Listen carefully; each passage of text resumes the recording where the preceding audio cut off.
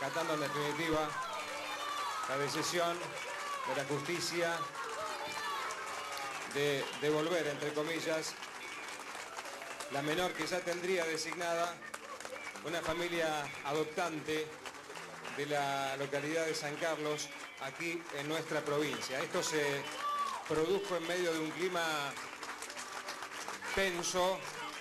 de, mucha, de mucha tensión, de mucho nerviosismo, en silencio, a pedido de la propia abuela de Ezequiel, pero hasta hace minutos era muy ruidosa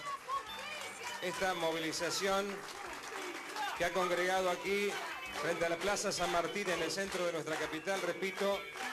en la sede del Poder Judicial, Tribunales Colegiados de Familia, a allegados y familiares de Ezequiel Serra y de Luciana Vietti. Rostros desencajados, de angustia,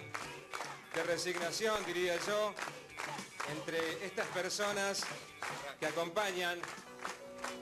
también el dolor de esta pareja que debe acatar,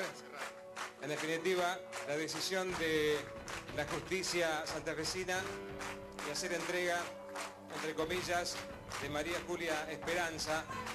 a la justicia santafesina, la niña que ya tendría, como decíamos, una familia adoptante de la localidad de San Carlos. La quieren arrancar, lo tienen encerrado entre los policías. Pasá, pasá, vení, pasá. Pase, loco, pase. Unos minutos antes de las 14, Ezequiel Serra intentó que los medios de comunicación también ingresaran a la sede de los tribunales colegiados de familia. Después hubo forcejeos entre el personal policial y familiares y amigos del matrimonio que llegaron al lugar con otra expectativa, esperando que la justicia diera marcha atrás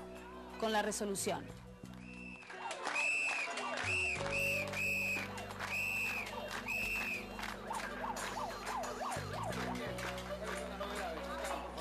Chicos, nos encerraron en una habitación,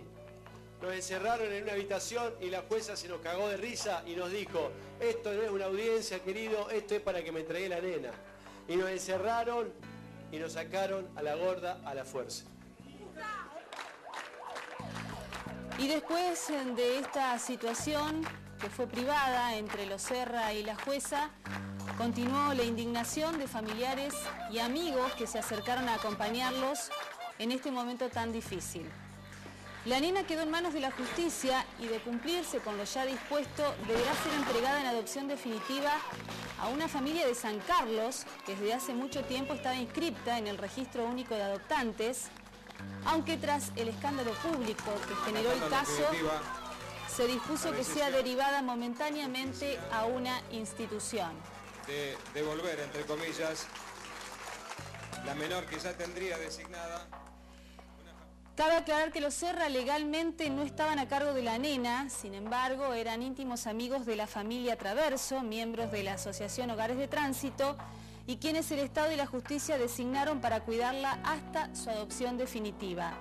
María Julia, de dos años y medio, recordemos, había sido abandonada por su madre biológica a los seis meses y en los últimos dos años generó un vínculo afectivo muy fuerte con los Serra que de esta manera hoy se acercaron para entregarla a la justicia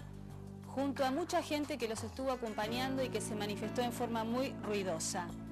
Cabe destacar que mediante un comunicado oficial, la jueza que entiende en la causa, Liliana Lourdes Michelasi,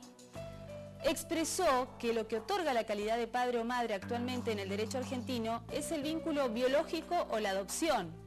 resultando inadmisible todo acuerdo privado que interprete que el niño o niña reviste carácter de objeto y no de sujeto de derechos, a partir de la situación generada con esta chiquita de dos años y medio. Además expresa la magistrada que en este tipo de procesos el acento debe estar orientado a dar o seleccionar padres para los niños y no dar o seleccionar hijos para aquellas personas o matrimonios que no puedan tenerlos. La polémica está instalada y más allá de la explicación judicial, los familiares de los Serras cuestionan el fallo e insisten con que la nena no debe ser separada de su familia. Familiares y allegados a los Serra volvieron a manifestarse frente a los tribunales de familia de calle Tucumán. Con altavoces y carteles expresaron su apoyo y solidaridad al matrimonio que exige la adopción de María Julia.